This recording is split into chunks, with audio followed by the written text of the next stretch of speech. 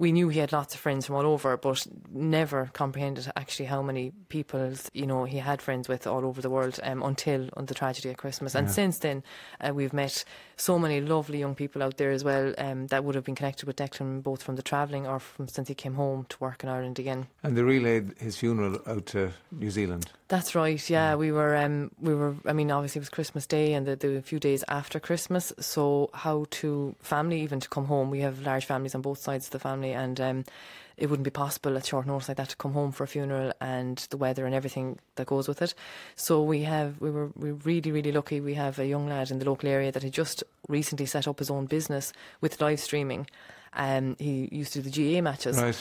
And uh, we just thought, mm, I wonder, is this possible? Now, broadband hasn't uh, reached all the rural parts of Ireland or Mayo, and um, that was probably maybe the Wi-Fi. But fair play, he he pulled it off. He, he was able to live stream the whole funeral for the family and the friends, and still the link is still available online for them to.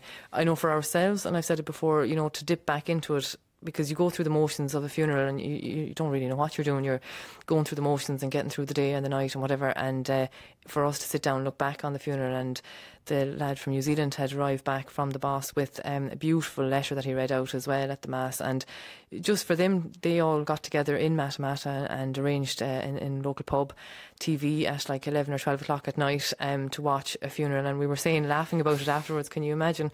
You know, they'd be thinking, what is wrong with these people? And, you know, these Irish uh, that are over here going to the pub at 11 o'clock to watch a funeral, Funeral, not a football match for a change, not a GAA match or anything, but uh, yeah, to watch a funeral. But and like that, Declan, the short time he had spent in Matamata, he seems to have known everyone on the street. You know, as he walked up or down from the shopkeeper to you know